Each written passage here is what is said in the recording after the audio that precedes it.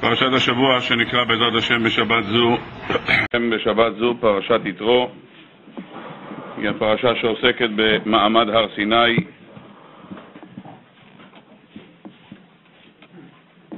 בספר דברים אומרת התורה רק ישמר לך ושמור נפשך מאוד, פן תשכח את הדברים אשר ראו עיניך ופן יסורו מלבביך כל ימי חייך.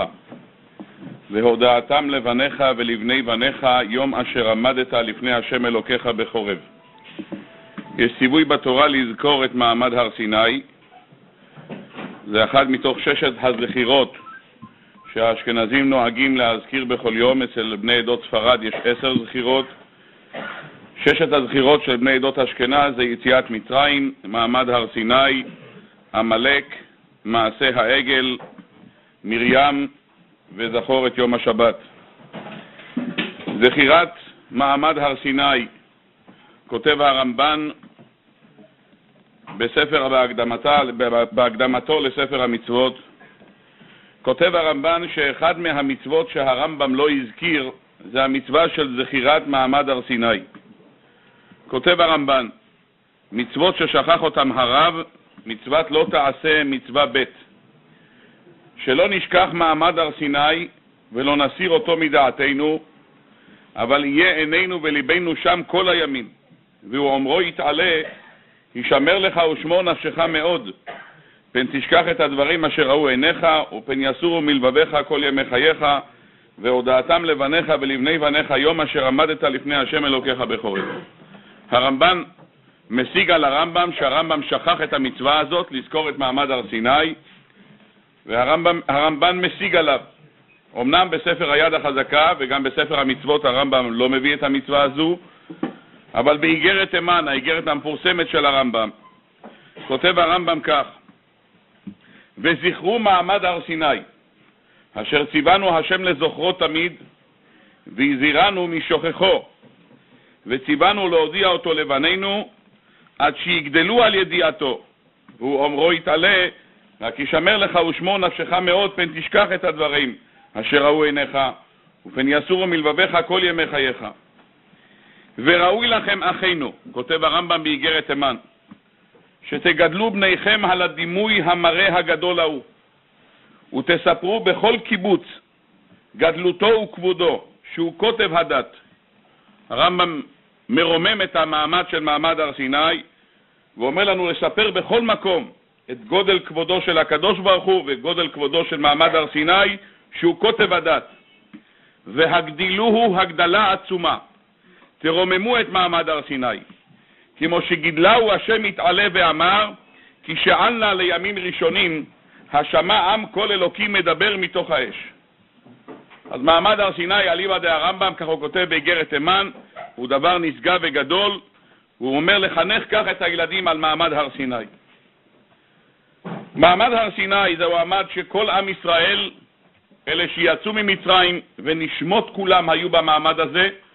רבותינו מביאים לכך כמה וכמה ראיות שכל הנשמות שעתידים להיות בעם ישראל היו במעמד הר סיני, וכולם שמעו את הקדוש ברוך הוא מדבר ואומר לנו את עשרת הדיברות. ישנן דעות שונות כיצד היה מעמד הר סיני, איך נאמרו עשרת הדיברות, אולי נדבר על כך בשבוע הבא, אבל רק נאזכר את מה שכתוב כאן בדברי רש"י ודברי הרמב"ן. אומר כאן רש"י על הפסוק, וידבר אלוקים את כל הדברים האלה לאמור. אומר רש"י, מלמד שאמר הקדוש ברוך הוא עשרת הדיברות בדיבור אחד. בתחילה נאמרו כל עשרת הדיברות בבת אחת. מה שאי אפשר לו לאדם לומר כן. אף על פי שכולנו יודעים מה שחז"ל אומרים, ששמענו מפי הקדוש ברוך הוא רק אנוכי ולא יהיה לך, ואילו שאר המצוות כולם שמענו מפי משה, והגמרא במסכת מכות בדף כ"ד מביאה את הפסוק תורה ציווה לנו משה מורשה קהילת יעקב, חז"ל תורה בגימטריה תרי"א. אז תורה ציווה לנו משה, אנוכי ולא יהיה לך, שמענו מפי הגבורה.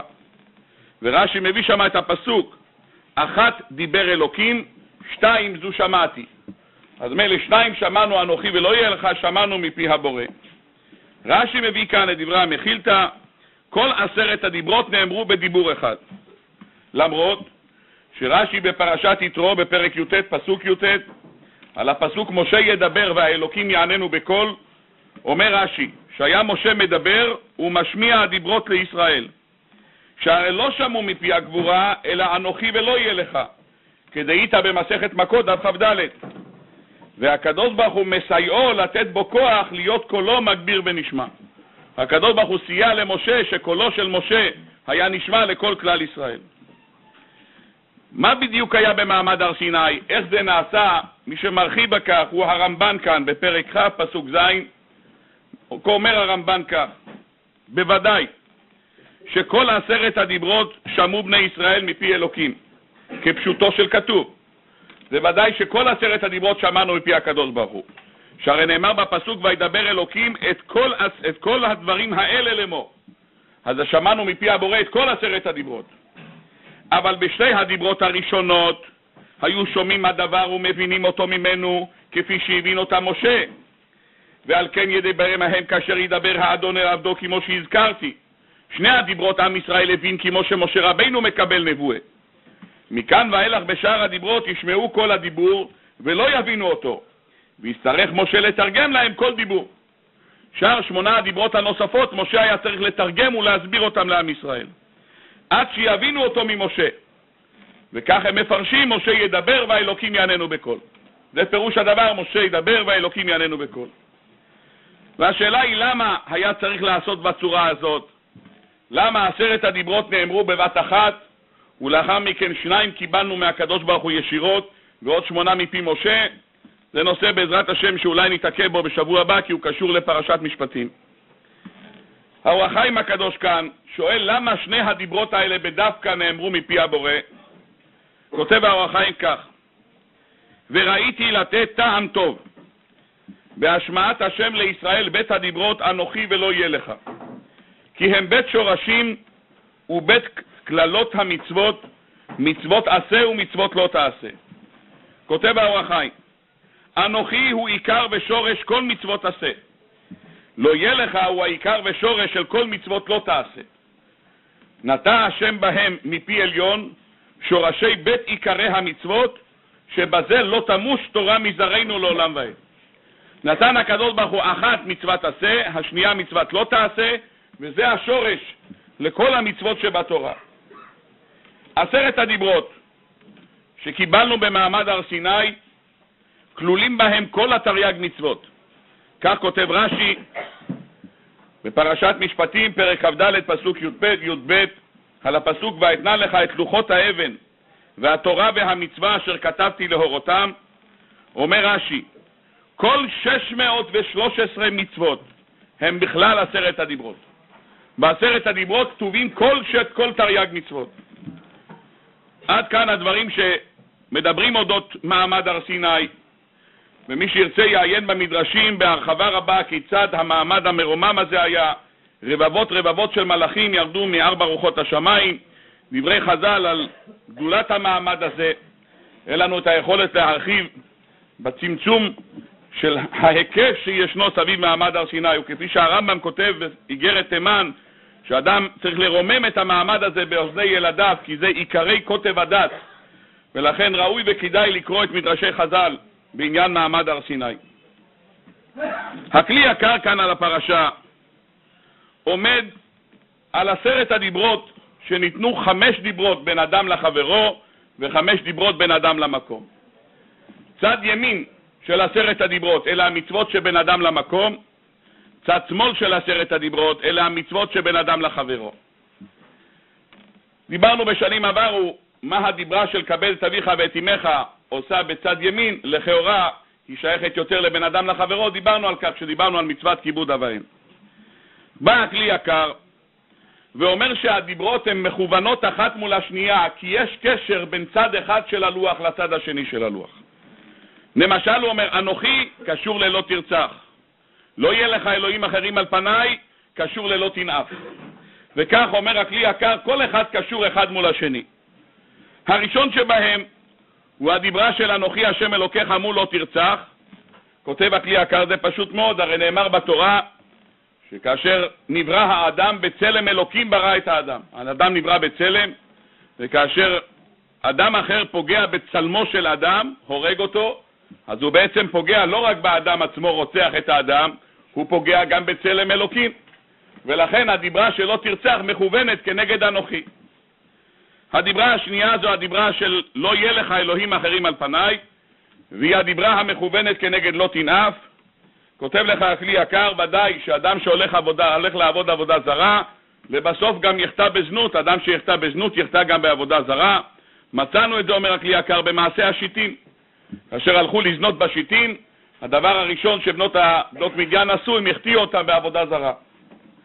האיסור השלישי, הלאו השלישי שמופיע בעשרת הדיברות, לא תישא את שם השם אלוקיך לשווא, והוא כנגד לא תגנוב. אומר הכלי יקר, זה ודאי שמחוברים אחד לשני, כי האדם שגונב מיד אחרי זה נשבע לשקר. כי ברגע שתופסים אותו ואומרים לו אתה גנבת, הוא מיד מכחיש, הוא מוכן להישבע על כך שהוא לא גנב. הם מחוברים ביחד גם בפרשת קדושים, אומר הכלי יקר באותו פסוק, לא תגנובו ולא תישבעו בשמי לשקר. אתה רואה שהפסוק מחבר את שניהם, כי התוצאה של הגנב, שהוא ייאלץ להישבע לשקר. גם בספר זכריה מחבר הנביא את הנשבע לשקר עם הגנב. ובאת אל בית הגנב ואל בית הנשבע בשמי לשקר. שניהם מחוברים יחד וזה דבר טבעי ומובן.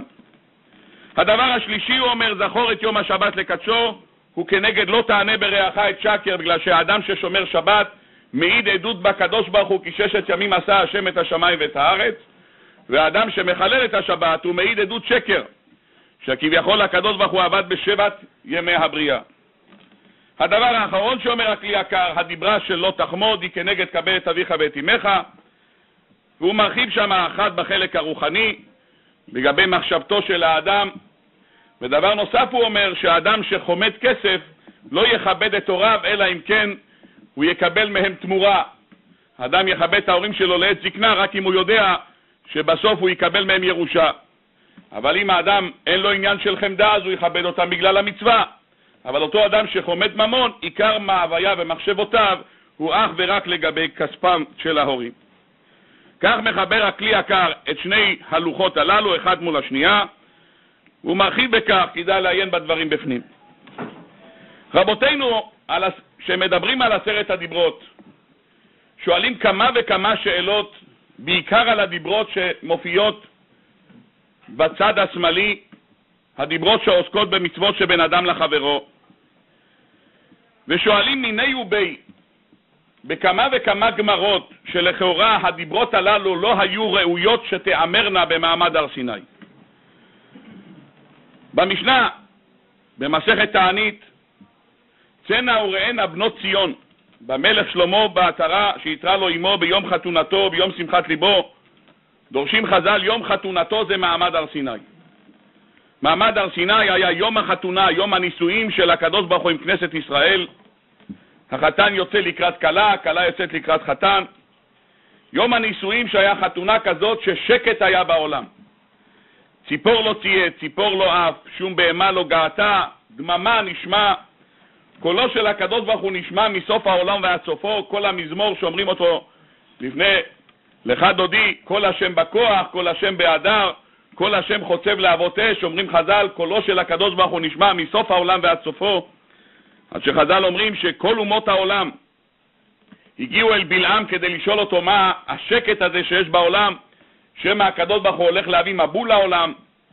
אמר להם בלעם, תירגעו, השם נותן תורה לעם ישראל, שנאמר, השם עוז לעמו ייתן ואין עוז אל התורה. מיד פתחו כולם ואמרו, השם יברך את עמו בשלום. מעמד שהקדוש ברוך הוא כביכול יום חתונתו, הכוונה למתן תורה. שואלים רבותינו, נמצאים במעמד הר סיני, יום חתונתו, זה זמן שהחתן מצווה על הכלה שלא תרצח. זה הזמן שהוא מצווה על הכלה לא לגנוב. זה הזמן, לכאורה מעמד כזה של מעמד הר סיני, יש מצוות הרבה יותר חשובות לצוות עליהן, מאשר לא תרצח ולא תגנוב. ראיתי בספר של רבי איזיק שר, לקט שיחות מוסר, הוא שואל למה הדבר דומה. נתאר לעצמנו גדול הדור, מזמין את כל עם ישראל לדרשה שהוא רוצה לשאת, וכולם מגיעים לדרשה ושומעים מפיו, רבותיי, אני מבקש מכם לא לרצוח. הוא שואל, בשביל זה אתה אוסף את כולם כדי לצוות עליהם לא תרצוח? כך שואל רב אייזיק שר בספרו.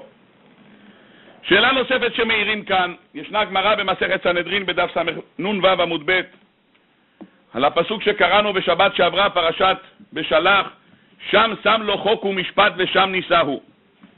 אומרים חז"ל שם עשר מצוות, נצטוו ישראל במראה. במראה קיבלי עם ישראל עשר מצוות, שבע מצוות בני נוח, עבודה זרה, גילוי עריות, שפיכות דמים, עבר מן החי, ברכת השם, גזל ודינים, והוסיף עליהם ג' מצוות נוספות.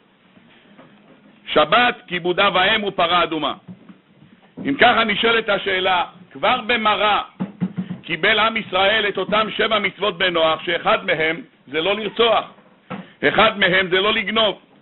למה צריך לחזור ולצוות עליהם במעמד הר סיני? שאלה נוספת ששואלים המפרשים, הרי בני נוח, כאשר נוח הקים את העולם מחדש, נצטווה נוח את כל הציוויים הללו של שבע מצוות בנוח.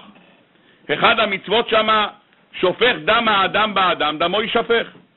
האיסור של רצח מופיע כבר בפרשת נוח. אז מה העניין לבוא ולצוות עכשיו על דיברה חדשה שלא תרצח, כאשר כבר כבני נוח קיבלנו את האיסור של רציחה?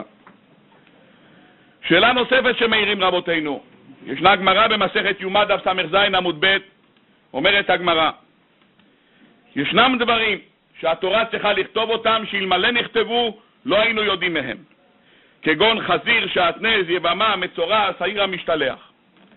אבל ישנם מצוות שגם אם אנחנו לא נכתוב אותם בתורה, הם דברים מובנים ממילא. מהם הדברים המובנים ממילא? אומרים רבותינו, את משפטיי תעשו, אילו דברים שאלמלא נכתבו, דין הוא שייכתבו, ואילו הם עבודת כוכבים, גילוי עריות, שפיכות דמים, גזל וברכת השם. אלה מצוות שגם ממילא היו נכתבות. והשאלה היא בשביל מה צריך לומר אותם במעמד הר סיני, כאשר אלה מצוות שהשכל מורה שיקיימו אותם. ראיתי שכמה שואלים שאלה נוספת.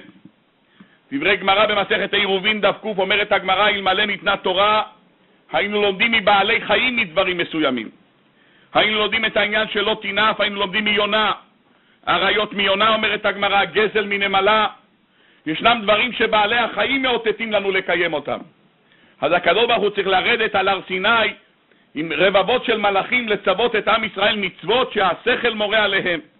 מה כתוב כאן? שאלה אחרונה שמעירים רבותינו בנושא זה של מעמד הר סיני.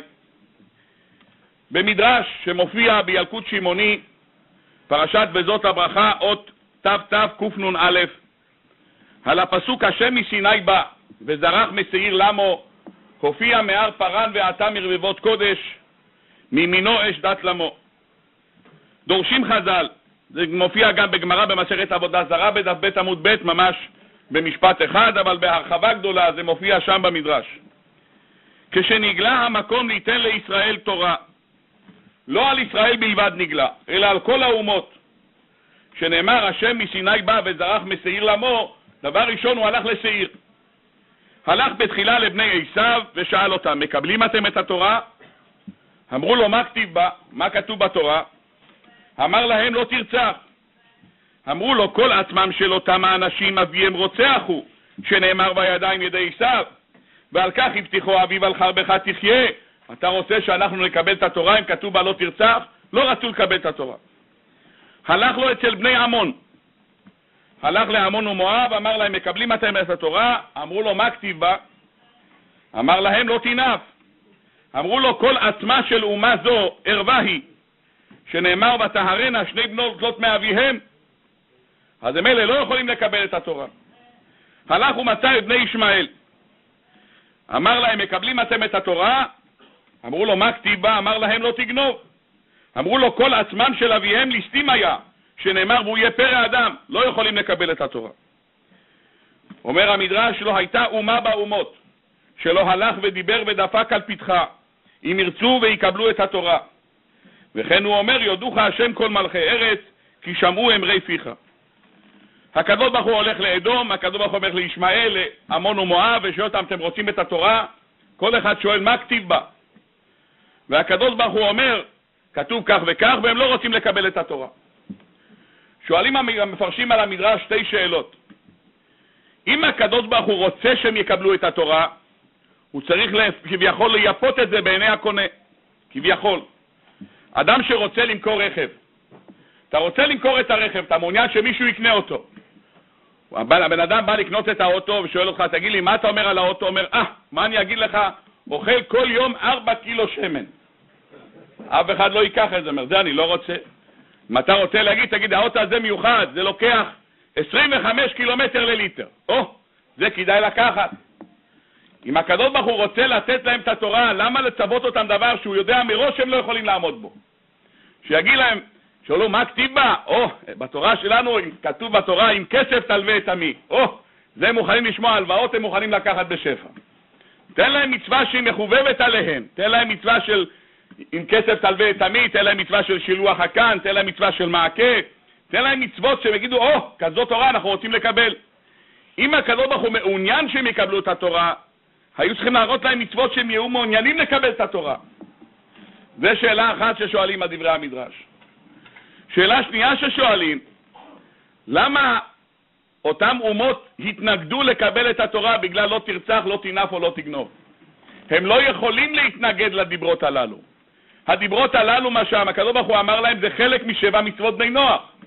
בשבע מצוות בני נוח יש איסור שלא תרצח, בשבע מצוות בני נוח יש את האיסור שלא תנאף, בשבע מצוות בני נוח יש את האיסור שלא תגנוב. זה מופיע בשבע מצוות בני נוח. אז מה הם אומרים? שואלים את הקדוש ברוך הוא, מה כתיב בה? אומר הקדוש ברוך הוא, לא תרצח, אם ככה אנחנו לא רוצים. מה יעזור לכם אם אתם כן רוצים או לא רוצים? זה שבע מצוות בני נוח, אתם מחויבים בזה. רואים מכאן שהקדוש ברוך הוא לא אמר להם, רבותיי, אין לכם ברירה, את זה אתם צריכים לקבל. משמע שהלא תרצח של שבע מצוות בני נוח והלא תרצח שמופיע בעשרת הדיברות, אלה שני לא תרצח. הלא תרצח של בני נוח, את זה הם קיבלו ומוכנים לקיים. את הלא תרצח שמופיע במעמד הר סיני זה לא תרצח אחר לגמרי. זה לא תגנוב אחר לגמרי. זה לא תנאף אחר לגמרי. ואת זה הם לא מוכנים לקבל. והשאלה מה כתוב כאן בעשרת הדיברות, שעל זה הם לא היו מוכנים לקבל, על מה התנהל הוויכוח, שאמרו אם ככה אנחנו לא יכולים לקבל את התורה. כדי להעביר את הדברים הללו, אנחנו צריכים להקדים הקדמה שכותב אותה רבנו החידה בספרו לב דוד בפרק י"ב, כותב החידו כך: שמעתי איש מפי איש עד הרמב"ם. מעיד החידו שהוא שמע איש מפי איש מפי אנשים נאמנים עד הרמב"ם, אדם גדול אחד כתב לרמב"ם שהוא לא רוצה לקרוא וידוי ביום הכיפורים.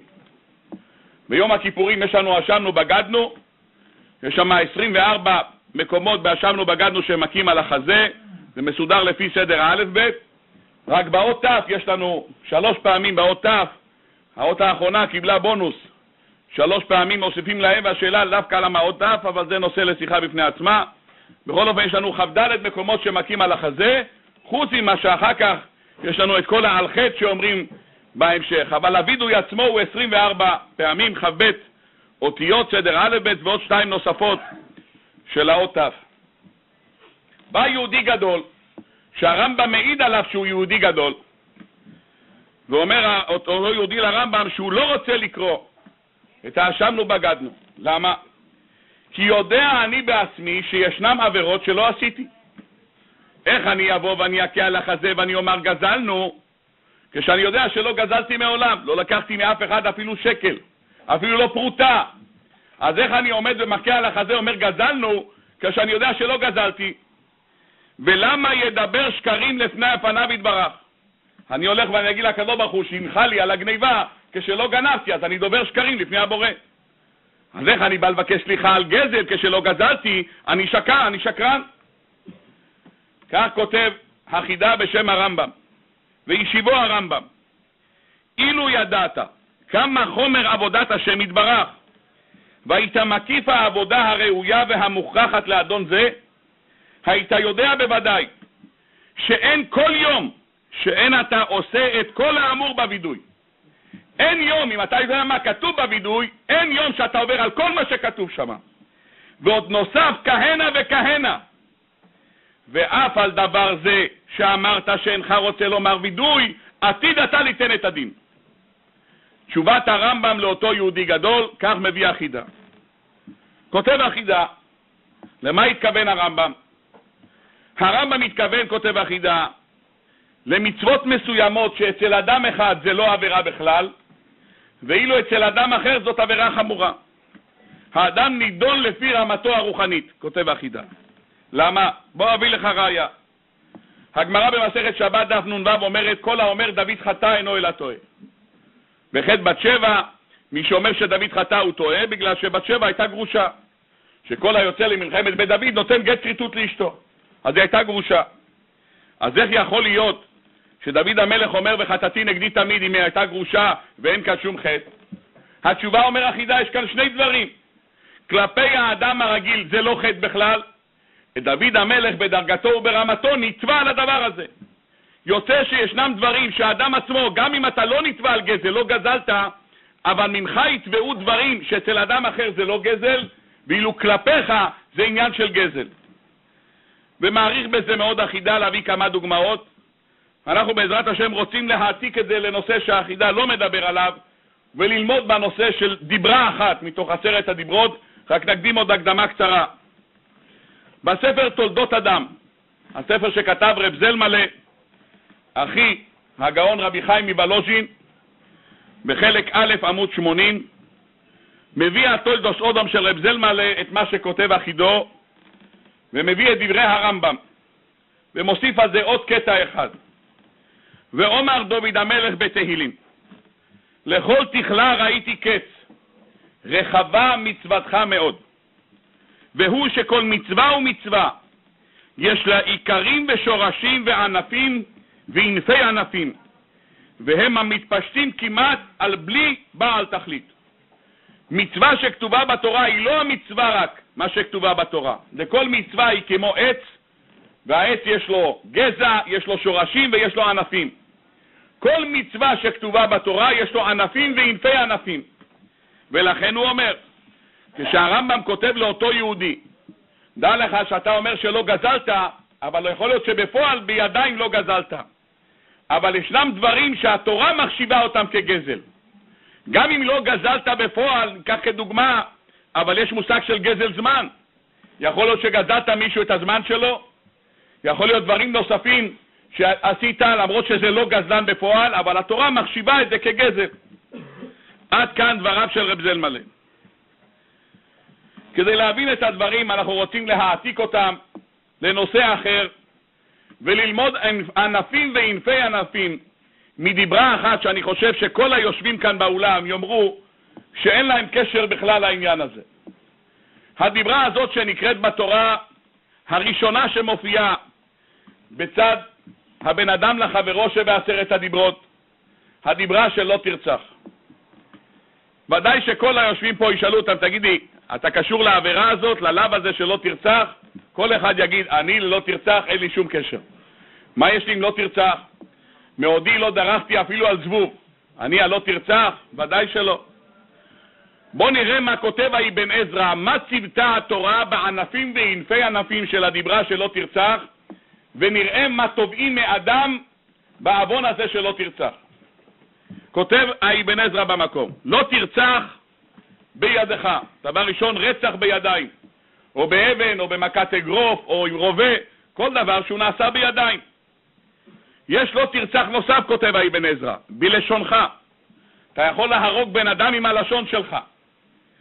או באמצעות העדת עדות שקר. אתה מעיד עליו, מצטרף אל מישהו להמית מישהו בעדות שקר.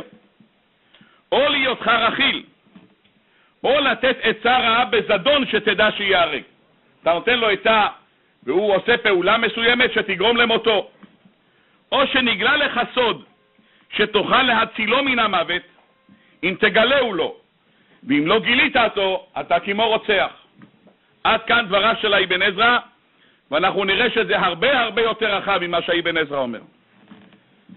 כולנו יודעים את דברי הגמרא במסכת סוטה, דף י עמוד ב', אומרת הגמרא, נוח לו לאדם שיפיל עצמו לתוך כבשן האש ואל ילבין פני חברו ברבים. התורה, חז"ל ממליצים לך, תדע לך, יותר נוח, מבחינת נוחות, נוחות עתידית, טוב לך שתיפול לכבשן האש ולא תלבין את פני חברך. שואל תוספות, אם זה כך, אז למה זה לא מנוי בתוך ג' עבירות חמורות שצריך למסור עליהן את הנפש? אומר תוספות במסכת ערכין דף ט"ז עמוד א', שהלבנת פנים הוא בגדר שפיכות דמים קלה. עד כדי כך שהבניין ציון לערוך לנר בסימן ס"ב פוסק להלכה, כאשר בן אדם רץ אחרי חברו להורגו, ראובן רץ אחרי שמעון להרוג אותו, ויש לשמעון אפשרות להציל את עצמו מן המוות. אילו היה יכול להרוג את ראובן שרודף אחריו, ודאי שהבא להורגך השכם להורגו. אין לו אפשרות להסתובב אחורה ולהרוג את ראובן. יש לו אפשרות אחת, הוא יכול לגרום לכך, לפגוע בלוי בהלבנת פנים, וכאשר הוא יפגע בלוי בהלבנת פנים, זה יגרום למהומה כזאת שראובן יעצור את המנוסה ולא יהרוג אותו. שואל הערוך לנר, האם מותר לו לאדם להציל את עצמו בעלבונו של אדם שלישי? פוסק הערוך לנר שלא. אסור לך להציל את עצמך בהלבנתו של אדם שלישי. לכאורה, אתה מציל את עצמך ממוות, וכאן מדובר בעניין של הלבנת פנים. מביאים כולם על דברי הערוך לנר את דברי רבנו יונה בשערי תשובה, כי צער הכלימה מר ממוות. העלבון כשבן אדם נעלב, העלבון שלו הוא יותר גרוע ממוות. בואו נתבונן בדברי גמרא במסכת כתובות בדף ס"ז.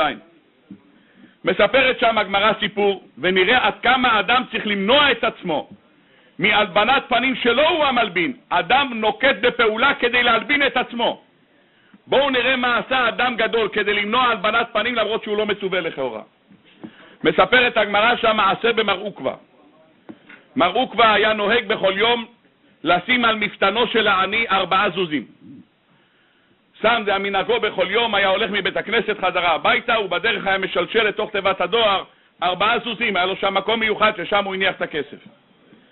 יום אחד מר עוקווה התעכב בבית הכנסת ואשתו באה לקראתו, ואשתו באה לקראתו, רוצים ללכת חזרה הביתה, אומר לה מר עוקווה שהוא נוהג לשים כסף באמתחתו של עני אחד.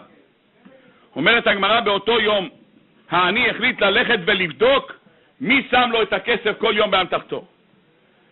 העני ניצב בבית, באותו רגע שהוא פותח את תיבת הדואר, מר עוקווה לשים את הכסף, העני פותח את הדלת, וכששומע מר עוקווה שהדלת נפתחת, הוא מתחיל לרוץ. הוא בורח, הוא רץ, אשתו רצה יחד איתו, ושניהם נמלטים. רצים, רצים, רצים, העני רודף אחריהם, הם מגיעים למקום שיש להם אפשרות לברוח ולהסתתר. מהו המקום? תנור. תנור גדול של בית, בית מאפה, והם שניהם נכנסים לתוך תנור שהפסיק כבר את פעולתו, היה שם רק גחלים, עפו שם בבוקר. הגחלים עדיין היו עוממות, ונכנסים מר עוקווה ואשתו לתוך התנור. אומרת הגמרא, נכרחו רגליו של מר עוקווה, ואילו רגלי רעייתו לא נכרחו. חלשה דעתי דמר עוקווה. מר עוקווה קיבל חלישות הדעת, הייתכן דבר כזה שרגלי נכרחו ורגלי אשתי לא? נתאר לעצמנו את הרמה הרוחנית של מר עוקווה בשעה הזאת. אדם שרגליו נשרפות, מה הדבר הראשון שהוא חושב? תביא לי בבקשה משחות של ברנצ'ילד, משהו שיציל אותי, שלא יישרף לי הרגליים. מה שמעסיק אותו בשעה הזאת, איך יכול להיות שלא הגעתי לדרגה הרוחנית של רעייתי? מרגיעה איתו אשתו ואומרת, אתה יודע למה הזכויות שלי כאן יותר משלך? זה בגלל שאני מקרבת את הנאתם של העניים יותר ממה שאתה. אתה נותן להם כסף, אני נותנת להם לאכול בפועל כל מה שהם צריכים. אז אני מקרבת את הנאת העניים יותר. שואלים המפרשים, אותו עני שרץ אחרי מרוקווה, לראות מי נותן לו את הכסף, למה מרוקווה ברח? למה מרוקווה סיכן את עצמו להיכנס לתנור? לכאורה התשובה הפשוטה, המלבין בני חברו ברבים, נוח לו לאדם שיפיל עצמו לתוך כבשן האש, ואל ילבין בני חברו ברבים. מרוקווה הלך להלבין אותו? אותו האדם פתח את הדלת להלבין את עצמו. אני צריך לברוח בגלל שהוא פתח את הדלת? האיסור של הלבנת פנים הוא מתי? כשאני הולך ואני מלבין את הפנים של השני. כאן אני לא הלכתי להלבין את פניו, אותו אדם פתח את הדלת, מי אמר לך לפתוח? אתה פותח את הדלת, אני צריך לסכן את עצמי להיכנס לתוך תנור. התשובה היא, אם אנחנו אומרים שעניין הלבנת פנים כמוהו כמו רציחה, הדין של הלבנת פנים זה כמו רצח, זה ענף מן הרצח. אז ודאי שכל אדם צריך למנוע את עצמו אפילו מחשש של משהו ברציחה, למרות שהוא לא אשם. באים רבותינו ומלמדים אותנו יסוד נוסף. בפרשת שופטים, בנושא של נמצא חלל באדמה, אומרת התורה כי יימצא חלל באדמה, אשר השם אלוקיך נותן לך לרשתה, נופל בשדה, לא נודע מי היכהו. מוצאים אדם הרוג מחוץ לעיר, וההרוג הזה שוכב שם, לא נודע מי היכהו, לא יודעים מי הרג אותו. מצווה התורה ציווי, לקחת עגלה ולערוף אותה בנחל איתן. אומרים חז"ל, תבוא עגלה שלא עשתה פירות, ותיערף במקום שאינו עושה פירות, לכפר על הריגתו של זה שלא הניחו לעשות פירות. ורבותינו שם שואלים מה זה הפירות, יש אומרים שזה ילדים, ויש אומרים הכוונה למצוות שגם כן יקראו פירות. וזקני העדה באים למקום הזה ואומרים כך: ידינו לא שפכו את הדם הזה, ועינינו לא ראו, כפר לעמך ישראל וכולי. שואלת הגמרא במסכת סוטה בשני מקומות, דף מ"ה עמוד ב', דף ל"ח עמוד ב', וכי תעלה על דעתך שהזקנים שופכי דמים הם? מה הם אומרים, ידינו לא שפכו את הדם הזה? מה, חשבנו שהם שפכו את הדם? חשבנו שזקני העדה הרגו את אותו אדם? אלא אומרת הגמרא, לא בא לידינו ופטרנו בלא מזונות, לא ראינו והנחנו בלא לוויה. אילו הייתכן שראינו, לא ראינו את הבן אדם הזה, או שראינו את הבן אדם ולא נתנו לו לאכול, או שראינו את הבן אדם ולא ליווינו אותו, וזה גרם למיתתו. למה? אומר רש"י שם, שהיות והאדם הזה ייתכן שהיה רעב, והוא עזב את העיר רעב, ופתאום הוא יצא מחוץ לעיר, הוא ראה מישהו אוכל, תקף אותו בולמוס, והוא קפץ על אותו אדם שאוכל, ובמהלך התיגרה ביניהם הוא נהרג. יוצא שהוא נהרג בגלל שהזקנים לא נתנו לו מזונות. בגלל שהזקנים לא נתנו לו מזונות, אז מה טובים ממנו? טובים מהזקנים, ידינו לא שפכו את הדם הזה.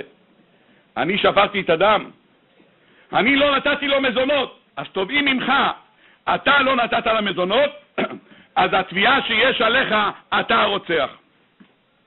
על היסוד של הדברים האלה מלמדים אותנו רבותינו דברי גמרא במסכת תענית בדף כ"א, גמרא שכולנו מכירים אותה, רק אליבא דדברי הגמרא הזאת נבין אותה הרבה יותר טוב.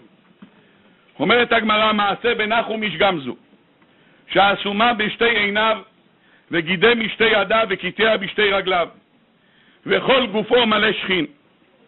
והיה מוטל בבית רעוע, ורגלי מיטתו מונחות בספלים מלאי מים, שלא יעלו עליו נמלים. אומרת הגמרא, פעם אחת ביקשו תלמידיו לפנות את מיטתו, ואחר כך לפנות את הכלים. אמר להם נחום איש גמזו לתלמידים, פנו את הכלים ואחר כך פנו את מיטתי. מובטח לכם שכל זמן שאני בבית, אין הבית נופל. פינו את הכלים ואחר כך פינו את מיטתו ונפל הבית. אמרו לו תלמידיו, רבי, וכי מאחר שצדיק אתה, למה עלתה לך כך? על מה קיבלת עונש כזה?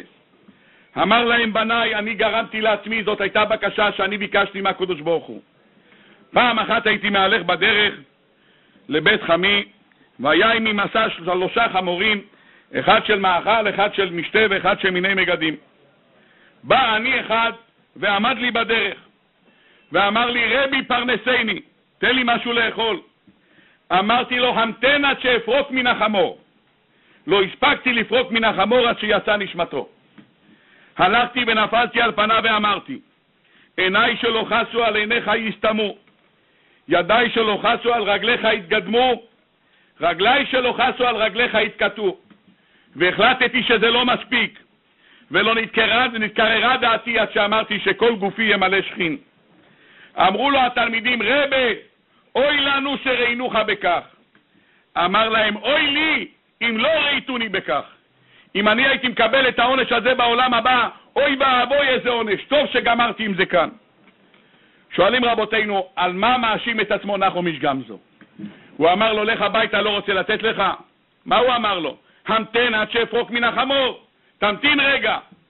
ידע נחום איש גמזו שהקדוש ברוך הוא יתבע אותו לפום הגדלות שלו, בגלל שמדובר בגלח ומשגם זו. ידע שהקדוש ברוך הוא יתבע אותו, אדם כמוך היה צריך לשים באמתחתו לחם, לשים לאמתחתו קצת אוכל, למקרה ויבוא אני ויבקש ממך. רואים שהעניין של רצח, האיסור שלא תרצח, זה לאו דווקא הרג בידיים. דבר שנגרם בגינך, למרות שאתה לא אשם, גם זה נזקף לחובתו של אדם. במסכת פאה, בפרק ח', מובא מייסר בנחמיה חופר שיחין. היה חופר בורות לעולי רגלים.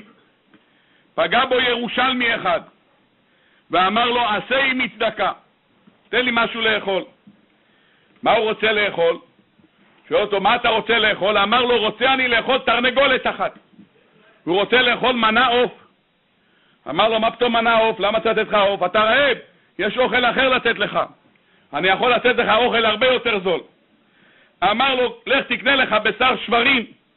זה לכאורה בשר יותר זול כנראה באותה תקופה. לך תקנה לך בשר שברים, מנה יותר זולה. למה צריך לשלם 30 שקל, אני יכול לתת לך מנה ב-20? נתן לו 20. הלך ואכל בשר השברים באמת. אומר המשנה, שהיה מפונק ביותר, ולא היה יכול גופו לסבול בשר שור. אמר נחמיה, הלך נחמיה להכריז על הלוויה, הוא מכריז הכרזה על הלוויה. בואו וסיבדו להרוגו של נחמיה. הוא מזמין את האנשים להלוויה, אומר בואו תלבבו את האדם שאני הרגתי. שואלים כל המפרשים, אתה הרגת בן אדם? לכאורה זה הדבר שהוא נגד ההיגיון, מה הוא הרג פה? אלא מה? רואים מכאן מה הקדוש ברוך הוא תובע מאנשים גדולים בענפים וענפי ענפים של עוון שלא תרצח. בואו נראה דברי גמרא נוספת, שהגמרא הזאת היא באמת מרפסא ניגרא. זו גמרא שמופיעה במסכת סנהדרין דף קד עמוד א', נקדים לכך הקדמה. בסוף ספר שמואל א', מסופר שמגיע יונתן לדוד ואומר לו להימלט, כי אבא שלו שאול רוצה להרוג אותו. יונתן נפרד מדוד, על פי החשבון זה כנראה היה ביום רביעי בשבוע, כי כתוב בחז"ל שהוא הגיע לנוב בשבת, הוא הגיע לנוב כשהוא היה רעב שלושה ימים, אז על פי החשבון הזה, רביעי, חמישי, שישי הוא היה בשדה, הוא הגיע לנוב בשבת אחרי שלושה ימים ללא אוכל על פיו. הוא מגיע לנוב, הוא פוגש את אחימלך הכהן הגדול, ושואל את אחימלך הכהן הגדול אם יש לו משהו לאכול, הוא רוצה לאכול, הוא נורא רעב. אמר לו אחימלך, אין לי מה לתת לך לאכול, הדבר היחיד שאני יכול לכבד אותך זה מה שנשאר מלחם הפנים.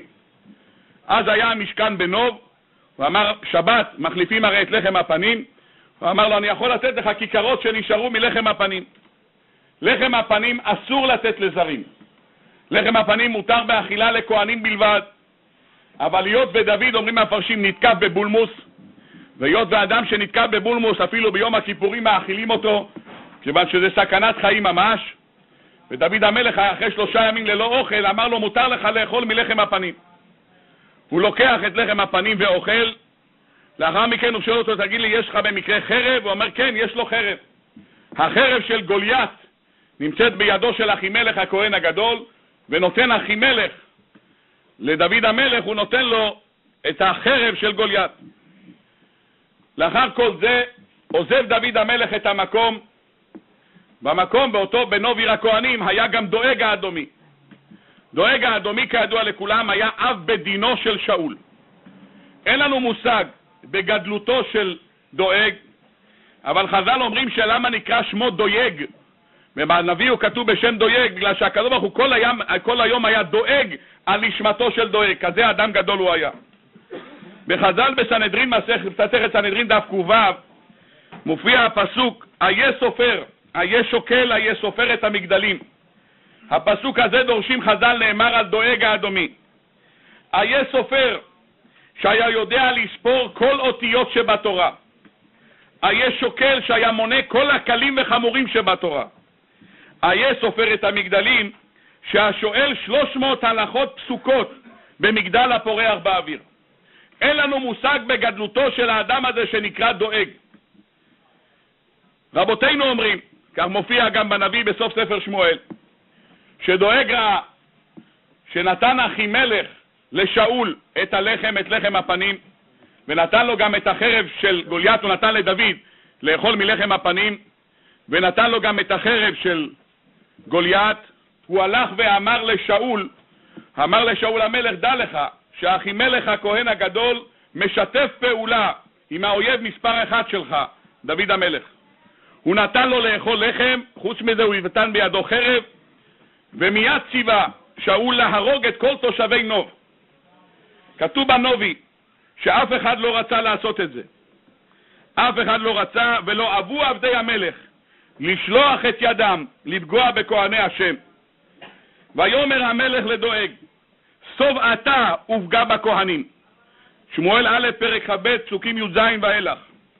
ויסוב דואג האדומי, ויפגע הוא בכהנים. וימת ביום ההוא שמונים וחמישה איש נושא אפוד בד.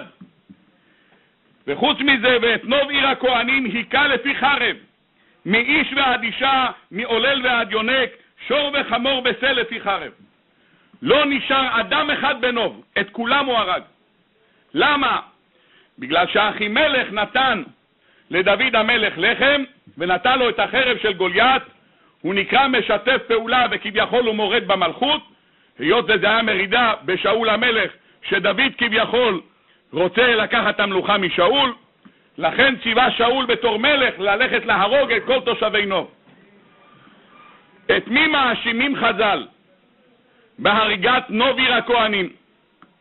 לכאורה פשוט לנו שמי שהרג את נוב עיר הכהנים זה דואג האדומי. דואג האדומי הרג 85 כהנים והרג את כל תושבי נוב. ודאי שהוא סיפר לשון הרע. יש תביעה גם על שאול המלך למה הוא קיבל את הלשון הרע. אבל הגמרא כאן במסכת סנהדרין בדף קד עמוד ב', אומרת הגמרא, נקרא את הדברים בפנים. אמר רב יהודה אמר רב, אלמלא הלווהו יונתן לדוד שני כיכרות לחם, לא נהרגה נוביר הכהנים, לא נטרק דואג האדומי, ולא נהרג שאול ושלושת בניו.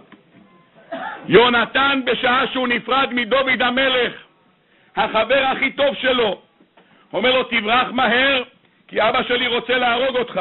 נו, הוא נמלט, למה לא דאגת לצייד אותו בקצת מזון?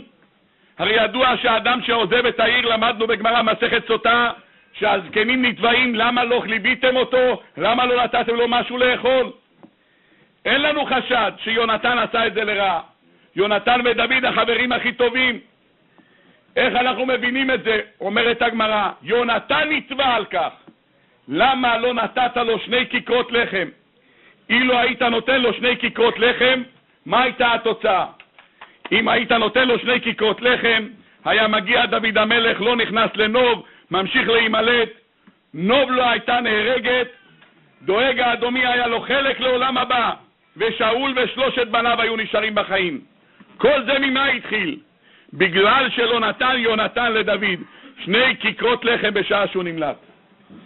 לכאורה יחשוב האדם, על זה טובים מאיתנו, אנשים גדולים נתבעים בעוון שלא תרצח, לא רק רצח בידיים, אומר האבן עזרא, גם דברים שנגרמים כתוצאה מהמעשים שלך, שיכולים להביא מוות.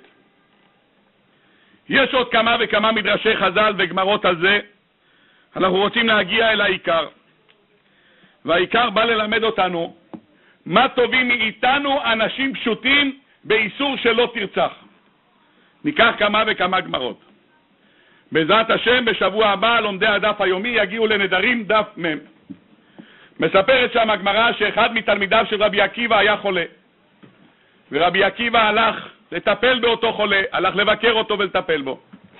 הוא גמר לטפל בו, אמר לו התלמיד, רבי, החייתני, החזרת לי את החיים. אחרי שהוא החזיר אותו לחיים, יצא רבי עקיבא ואמר, כל מי שאינו מבקר את החולה כאילו שופך דמים. אדם שאינו מבקר את החולה לא, כאילו שופך דמים.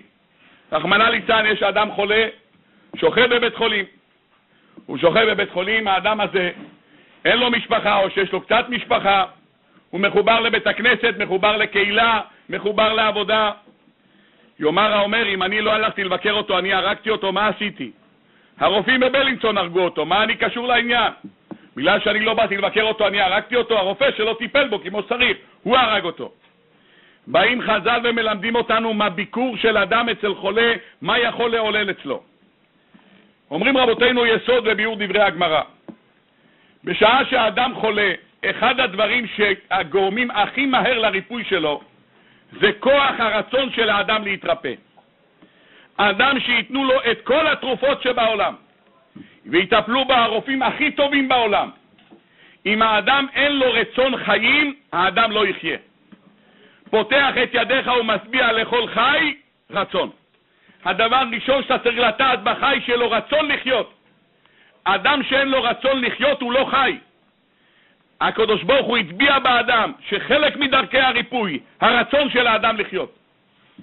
כשבן אדם שוכב בבית חולים והוא יודע שיש לו חברים, ונכון לבקר את החולה זה לוקח שעה או שעה וחצי או שעתיים אפילו. נסיעה לבית חולים, הלוך ושוב, לוקח זמן. אדם בא לבקר את החולה, חוץ מזה שכל מי שמבקר את החולה נותן אחד משישי מכל יום. אתה בא לשם, הוא רואה שצריכים אותו. הוא בא, בית הכנסת בא לבקר אותו, אומר, כולם שואלים עליך, כולם צריכים אותך. הדמות שלך נצרכת בבית הכנסת. באים החברים לעבודה, אומרים, צריכים אותך בעבודה. נוטעים בו רצון לחיות. עצם זה שנוטעים בו את הרצון לחיות, זה מהווה כוח ריפוי. אומר רבי עקיבא, כל מי שאינו מבקר את החולה, כאילו שופך דמים. ניקח עוד גמרא אחת, מופיעה במסכת סנהדרין בדף ל"ה. אומרת הגמרא, דאמר רבי אלעזר אמר רבי יצחק, כל תענית שמלינים בו את הצדקה כאילו שופך דמים. הגמרא במסכת ברכות אומרת, אגרא דתעניתא צדקה. עיקר העניין של התענית זה צדקה, אומרת הגמרא. אומרת הגמרא במסכת סנהדרין, שבעבר בסיומה של התענית היו נוהגים לחלק לעניים אוכל. אומרת הגמרא, במקום שלא נותנים לעניים את האוכל, והעניים שמחו על כך שרגילים לתת להם אוכל ולא נתנו להם את האוכל, כל תענית שמלינים בה את הצדקה, אומרת הגמרא, כאילו שופך דמים. שנאמר, מילאתי משפט צדק, צדק ילין בה ואתה מרצחים. רבותינו מלמדים אותנו עד כמה העניין הזה של צדקה הוא חשוב, שאם אדם מאחר את הצדקה, עד כמה תובעים אותו. ישנו דבר נורא שמופיע בדברי רבותינו, מופיע במדרש בילקוט שמעוני ברות. קשה לדבר על אנשים גדולים ואסור לדבר על אנשים גדולים, אבל אם זה כתוב, רוצים שנלמד מזה. בואו נראה מה כתוב, אני אומר שוב, כולנו מכירים את דברי הגמרא במסכת שבת. הגמרא אומרת, אם ראשונים בני מלאכים אנו כבני אדם, ואם ראשונים בני אדם אנו כחמורים, ולא כחמורו של רבי פנחס בן יאיר. כשהולכים לדבר על אנשים גדולים צריך לדעת להיזהר מה מוציאים מהפה, אבל בכל אופן, דברים שכתובים בחז"ל, חז"ל כתבו את זה כדי שנלמד מזה. אז בואו נקרא כאן מה כתוב בדברי חז"ל, ונתבונן בעומק שלהם ונראה מה מאשימים בן אדם. בספר דברי הימים מופיע כך: ויהי עלי דבר השם לאמור. הדברים האלה נאמרו לדוד המלך, דברי הימים א', פרק כ"ב. ויהי עלי דבר השם לאמור. דם לרוב שפכת, ומלחמות גדולות עשית, לא תבנה בית לשמי. למה? כי דמים רבים שפכת ארצה לפניי. הקדוש ברוך הוא אומר לדוד המלך, אתה לא תבנה את בית המקדש. למה לא תבנה את בית המקדש? כי שפכת דם. דוד המלך לא שפך דם בלי רשותו של הקדוש ברוך הוא. אבל הקדוש ברוך הוא אומר, אתה שפכת דם, אם שפכת דם לא תוכל לבנות את בית המקדש. שואל היערות דבש, למה? למה נאשם דוד המלך דם לרוב שפכת, לכן לא תבנה את בית המקדש? הרי הוא לא עשה דבר מבלי להיוועץ בקדוש ברוך הוא. הוא לא היה יוצא למלחמה בלי לקבל אישור. אז אחרי שהוא, כל דבר שהוא עשה, הוא עשה בציוויו של הבורא, עכשיו הקדוש ברוך אומר לו, אתה לא תבנה, כי דם רב שפכת. מביא היערות דבש בחלק א', דרוש ב', ספר דברי הימים א', והנה בעוני הכינותי לבית השם זהב כיכרי מאה אלף. אומר דוד המלך, כשהייתי עני, כבר שמתי בצד לבניין בית המקדש מאה אלף כיכרות זהב, וכסף אלף אלפים כיכרים, ולנחושת ולברזל אין משקל, כי לרוב היה. ועצים ואבנים הכינותי, ועליהם תוסיף. פסוק שמופיע בדברי הימים א', פרק כ"ב, פסוק י"ב. דוד המלך אומר, כשהייתי עני, עדיין לא הייתי מלך. הכנתי אלפים ורבבות של כסף וזהב לבניין בית המקדש. שואלים רבותינו במדרש, מה פירוש דבר ועני בעוני? אדם כשהוא עני, כל עני נגיד שיש לו תוכנית חיסכון. כמה יכול להיות לו תוכנית חיסכון? יש לו הכוח לחוסך והכוח למתמיד. אז כמה יש לו שם? 7,000 שקל, 20,000 שקל.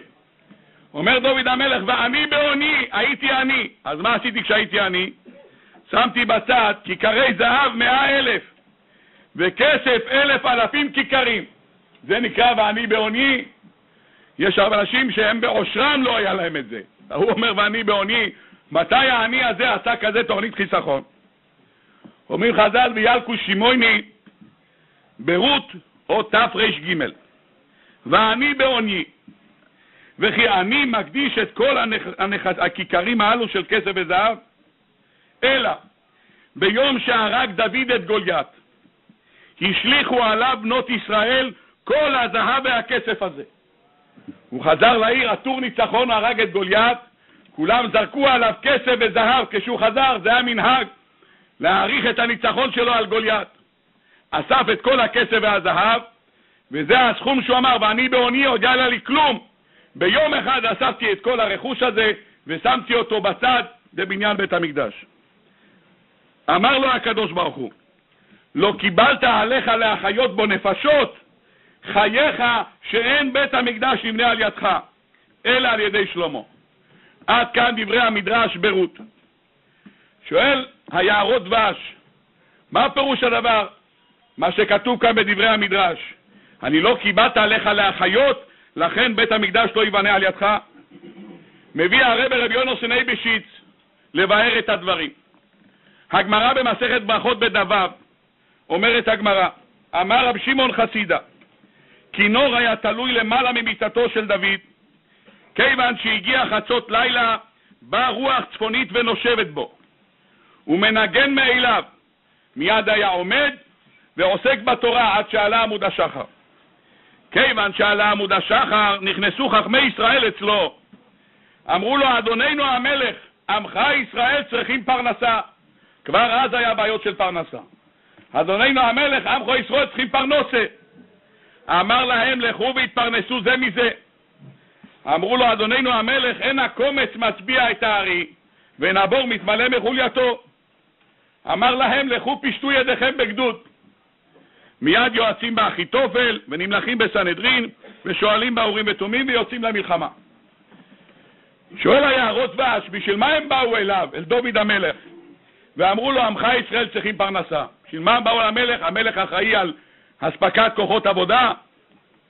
אומר היערות דבש, הם באו להגיד לדוד המלך, שמת בצד טונות של זהב וטונות של כסף, נחושת וברזל עד אין מספר. למה? לבנות את בית המקדש. בית המקדש עוד לא יודע מתי ייבנה. עכשיו יש אנשים שרעבים ללחם. תפתח את האוצרות האלה, תן להם מה לאכול. אמר להם דוד המלך, לכו פשטו ידיכם בגדוד. לא אתן לכם מזה, זה מוקדש לבית המקדש. אנשים נאלצו ללכת למלחמה כדי להביא פרנסה הביתה. אמר להם הקדוש ברוך הוא לדוד המלך, במקום לפתוח את האוצרות האלה, לתת את זה לעניים, שלחת אנשים למלחמה, דם רב שפכת, אתה את בית המקדש לא תבנה. תראו מה מאשימים את דוד המלך, נעים זמירות ישראל. אם ככה אנחנו מבינים מה שאומר האבן עזרא, לא הסיר צח, זה לאו דווקא עם דם על הידיים. לא צריכים דווקא להרוג בשביל לעבור על הסיר צח. אי נתינת שני כיכרות של יונתן לדוד, אומרים, הוא אשם בכל זה שדוד המלך הלך ונכנס לנוב ונהרג כל נוב עיר הכהנים, כל התושבים שם, 85 כהנים, הכל בגלל שני כיכרות לחם. בלא הסיר צח, אומר האבן עזרא, ענפים רבים. כותב רב זלמה בתולדו סודום כל מצווה בתולדות וענפים וענפי ענפים לרוב. אם ככה אנחנו יכולים עכשיו להבין טוב מאוד. בלא הסיר צח, ששמענו מפי הקדוש ברוך הוא במתנתרא, זה לא הסיר צח אחר לגמרי משבע מצוות בני נוח. בשבע מצוות בני נוח יש את הלא תרצח, שהלא תרצח הזה אומר שופך דם האדם. האיסור של בני נוח הוא רק ללכת ולהרוג מישהו. איסור מלבין פני חברו ברבין אין אצל בני נוח. האיסור של לא ללוות אדם ולתת לו אוכל אין אצל בן נוח. להעלים צדקה אין אצל בן נוח. אדם שלא מבקר את החולה כאילו שואף ארדומים אין אצל בן נוח. אצל בן נוח יש רק האדם שהרג בפועל בידיים. אם ככה נוכל להבין טוב מאוד למה הקדוש ברוך הוא נתן לנו את הלא הסירצח במימד הר סיני. כי במעמד הר סיני נאמרו ענפים רבים לדיברה הזאת שלא תרצח. כי לבני נוח יש רק את האיסור להרוג בידיים בלבד. מובן היטב, בשעה שהקדוש ברוך הוא בא לאומות העולם, הם שואלים אותו, מה כתיב בה? אומר להם הקדוש ברוך הוא, לא הסיר צח, אם ככה אנחנו לא רוצים. שאלנו, מה זה לא רוצים? אתם מצווים בשבע מצוות בני נוח, מה זה לא רוצים? אנחנו לא רוצים את עשרת הדיברס בצורה המורחבת שאתה מצווה בלא הסיר צח. מה כתיב בה? אומר הקדוש ברוך הוא, אני הולך לצוות הלא הסיר צח מורחב, זה לא רק הריגה בידיים. גם מי שלא מבקר את החולה כאילו שואף דומים. גם מי שמלין צדקה כאילו שואף דומים. גם אדם שלא מלווה את החבר שלו עם שני כיכרות לחם, הוא סופר דומים. אמרו אומות העולם, אם ככה אנחנו לא רוצים. אנחנו רוצים רק את האיסור של מי שהורג בידיים ולא יותר. זה מה ההבדל בין לא צח של בן נויח ללא צח שנעמד במים עד הר סיני. נסיים בעזרת השם בדברי פסיקתא. הפסיקתא מדברת על עשרת הדיברות, על הדיברה הראשונה של אנוכי השם אלוהיכךו. אומרת הפסיקתא, אומר הקדוש ברוך הוא, בראתי את העליונים ובראתי את התחתונים, ואת שניהם בראתי בדיברו אנוכי. שנאמר, אנוכי השם עשה כל, נוטה שמיים לבדי, רוקה הארץ מאיתי. באנוכי בראתי את אדם הראשון, שנאמר, אנוכי עשיתי ארץ ואדם עליה בראתי. באנוכי דיברתי עם אברום, שנאמר, אנוכי מגן לך. באנוכי דיברתי עם יצחק, ויאמר אנוכי הקל אלוקי אביך. ושנגליתי על יעקב נגליתי לו באנוכי, שנאמר ואנוכי יהיה עמך. באנוכי ירדתי למצרים, שנאמר אנוכי ארד עמך מצרימה, ובאנוכי העליתי אותם משם, שנאמר אנוכי אלוקי, אנוכי אליך גם עלו. באנוכי נגליתי על הגואל, שנאמר אנוכי אלוקי אביך, כך נגלה הקדוש ברוך הוא למוישה.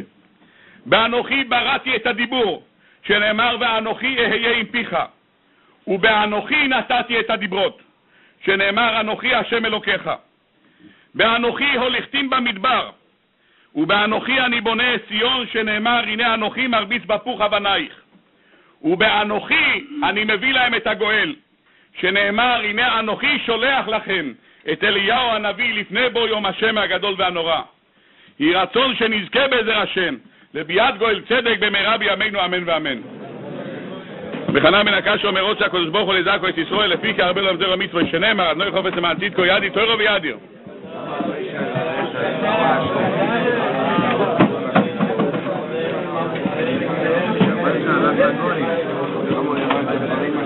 שבוע הבא. אמן יש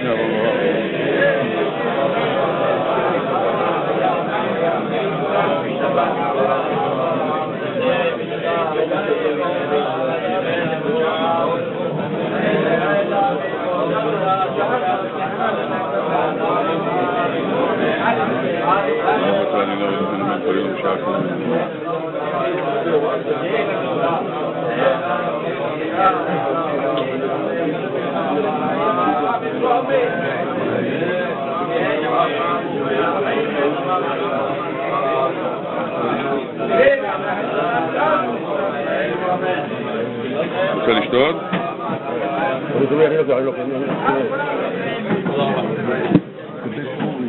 מה?